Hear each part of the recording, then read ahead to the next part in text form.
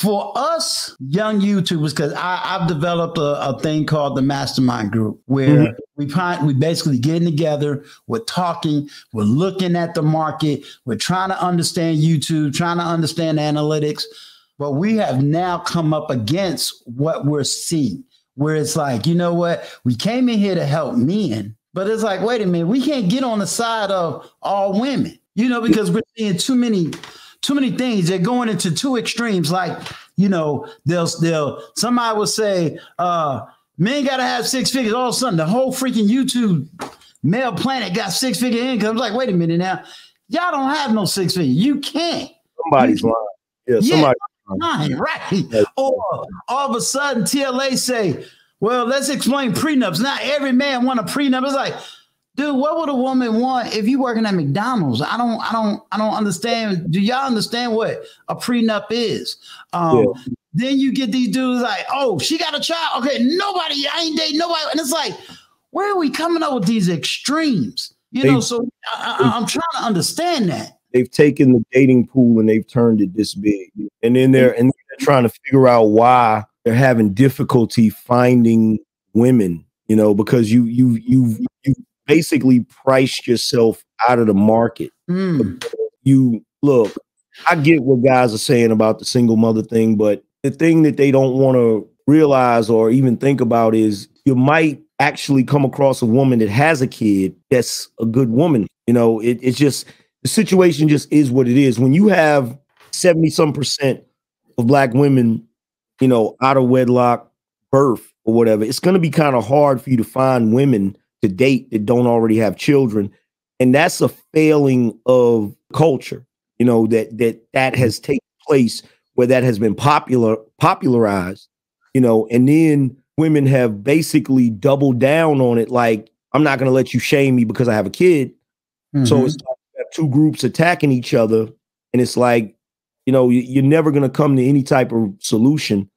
And and the thing the thing about the single mother thing that annoys me it's just like if a guy says, okay, I'm a single guy, I don't have any kids, I don't really want to raise anybody else's kids. It's like, okay, cool, that's fine. I get that. That's your decision. You're well within your rights. But why are you going to talk shit about somebody else who doesn't have a problem with it? Especially right. when you're complaining about the fact that there's a lack of fathers in the home, which is the result of the community being the way it is. Well, if there's a lack of fathers, you shouldn't care if one guy decides to take on 20 people's kids, you know, right. because that's needed. So if if you're not willing to dive on that grenade, why are you mad if somebody else willing to dive on it? It, it really doesn't make any sense to me. How do we how, for and again you're gonna always hear me at least in this beginning part emphasize um because you're speaking to a lot of people that did come out that TLA Wayne. You're speaking to men that is saying, "Hey, we don't we don't see the balance, so we want to now get in." How would you say for us to really get in this fusion and get in between this argument as you have seemed to have done so successfully? Well, anybody that's coming from, and you said TLA, so I'm assuming lead attorney, right? Yes. Yes. Anybody? See, when the lead attorney brought us in, his mm-hmm. his major argument, um, and you can hear it echoed over and over, is, "Hey guys, all of y'all that's 40 and up, look, the manosphere needs you.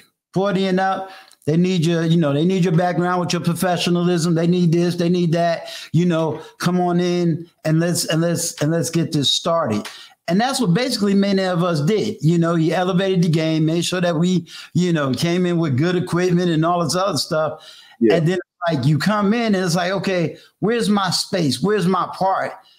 And then you you start really working. It's like, well, wait a minute, some of these parts don't make sense, especially when you can't relate to it in your own life. Well, anybody that's coming from a lot of these spaces, and you know, I like a lot of people joke about me knowing or seeing everything, whatever, like so, on some all eye shit. Is it's not that I know everything, it's just that people will tell me this go check out this person, go check out. Like I get so many freaking emails with people telling me to go check out certain people and see what they about, you know, because right. they kind of look at me like I'm some sort of damn uh like some sort of sentry for the manosphere. Like I'm like I'm the attack dog. So whenever somebody comes in that they don't like, it's like angry man, go go go check that person. You know what I'm saying? And it's you know. I'll look and see what people are talking about, but I'm not a rigid guy when it comes to people's ideologies. I'm willing to listen and and and get what your point of view is. And as far as what I see with guys like TLA and, and those that, you know, guys like Anton Daniels, guys like the Lapeef Network, all of those different guys coming into the space, one thing that you gotta do, regardless of whatever your content is, you gotta show that you have empathy for the men in the space. Mm-hmm. Because there's a lot of guys here that are, I don't want to say hurt, because that would be uh that would be diminishing it. There's a lot of guys here that are tired. Okay. Like they're tired of the narrative that black men ain't shit. Mm-hmm. Like they're tired of it. They're they're sick of it. They're sick of every time they come to a panel and it's women. The women are talking over them. The women are are telling them, "You better respect me," and and, and they're not allowed to voice how they feel. And don't get it twisted. There's a lot of bad apples running. Mm-hmm, mm-hmm, mm-hmm. That engage in a lot of foolishness, but there are a lot of really intelligent, really well-meaning brothers. There's even a lot of brothers here that are married that have successful relationships, and those guys get overlooked a lot. Now they found a home on my channel because I don't talk down to them because they're married or make them feel like it's something wrong with being married or or one day your wife is going to leave you and take all your damn money. I, I realized that that is, you know, some of these guys they got money with their wife. Right. So if wife did leave, she of course she's going to get some of the money. She helped you get the damn money, you know. So, right you know, but these guys they're they're obsessed with these with these stories like uh uh Dr. Dre and Bezos and all of that. Like, man, you don't have that kind of money. So just cut it out, right? Right. But you know, that that's really the biggest thing. Really the biggest thing is being able to connect with a lot of the guys that are already here and and not allow them to feel like because I'm gonna tell you what they think and I'm gonna tell you how they feel like because a lot of you guys that are coming from T- TLA coming right. from y'all are a little bit older. Y'all have more experience. A lot of y'all have uh, a little more success than some of these guys. So they feel like it's, oh, they're gonna come and tell us what to do. That's that's the vibe that they're giving off. You know what I'm saying?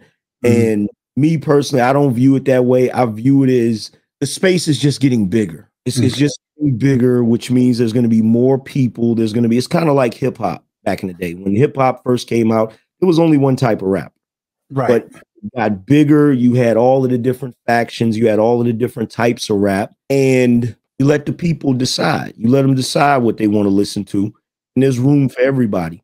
So, you know, my thing is, I think that you guys can definitely add to the conversation, mm-hmm. but there has to be like I, I watched one of the lead attorney shows where he was talking about the Manosphere meetup, and he was like, "These guys are talking about a fist fight and." this, that, and the third. And and it's like, it, it ain't that serious.